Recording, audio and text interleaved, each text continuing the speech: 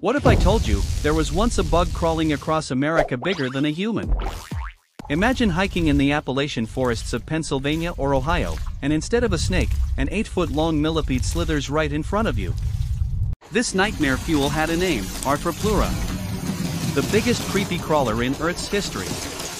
It lived over 300 million years ago, when giant insects ruled the swamps of what is now the United States. With armored plates and hundreds of legs, it stretched as long as a full-size bed, and wider than your shoulders.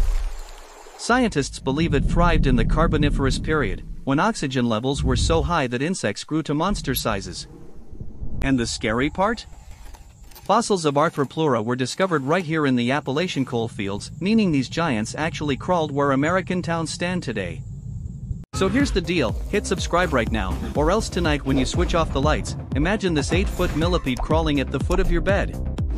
Trust me, you don't want to miss the next monster, you. and if you don't subscribe, you might be the one it chooses first.